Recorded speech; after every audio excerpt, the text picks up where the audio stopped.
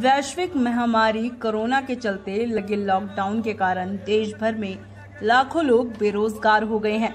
हिमाचल प्रदेश में भी इससे बेरोजगारों की तादाद में वृद्धि हुई है।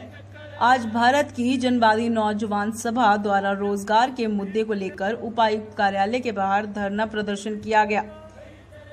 डीवाईएफआई शिमला शहरी इकाई अध्यक्ष अमित कुमार ने बताया कि कोरोना काल के दौरान पूरे देश के अंदर लगभग 12 करोड़ लोग बेरोजगार हो गए हैं और प्रदेश भी इससे अछूता नहीं है।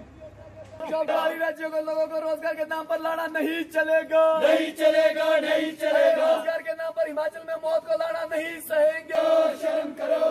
के नाम पर हिमाचल में लड़ा मौत को लड़ा नहीं चलेगा। नहीं चलेगा। नशे को बढ़ावा देना रोज़गार को छुपाने वाली सरकार शर्म करो।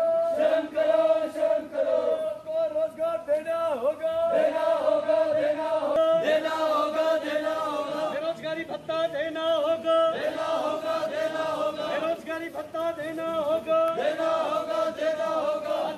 आज भारत की जनवादी नौजवान सभा डीवाईएफआई शिमला शहरी इकाई द्वारा जो है रोज़गार के मुद्दे को लेकर आज उपायुक्त कार्यालय के बाहर प्रदर्शन किया जा रहा है।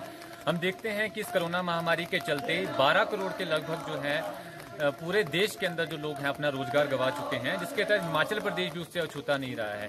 अगर हम हिमाचल प्रदेश की बात करें तो हिमाचल प्रदेश के अंदर भी लाखों लाख जो लोग हैं वो जो है रोज़गार हुए हैं। इसके तहत हिमाचल प्रदेश की सरकार द्वारा शहरी विकास योजना के तहत एक स्कीम जो है लाई गई थी। इसके अंदर जो है अभी तक हाल ही के अंदर हमने पिछले समय में कुछ समय पहले भी जो है इस निर्देशक का घेराव किया था। इसके तहत उन्होंने हमें वहाँ पे साफ़ कहा था कि अभी तक मात्र केवल जो दो सौ चौरासी लोगों को जो उसके अंदर रोज़गार जो है दिया गया है, जो कहीं ना कहीं ये भी दर्शाता है कि अभी भी जो है, उस योजना को जो है, किस तरीके से जो है, कहीं पे भी सिरे नहीं चढ़ाया जा रहा है और कहीं ना कहीं जो बेरोजगार जो युवा हैं, उनको अभी तक भी उनके साथ जो है, खिलवाड़ किया जा रहा है। आज इस धरने प्रदर्शन के माध्यम से हम ये सरकार से मांग करने आए हैं कि आप लोग जो है, ये ठेका प्रथा आउटसोर्स की प्रणाली को बंद करके एक स्थायी रोज़गार का प्रबंध करें, जिससे जो है, पूरे देश के अंदर जो, प्रदेश के अंदर का जो युवा है, वो उस रोज़गार के माध्यम से अपनी आजीविका को सुनिश्चित कर सके और अपना रोज़गार जो है, वो प्राप्त कर सके। ठीक है।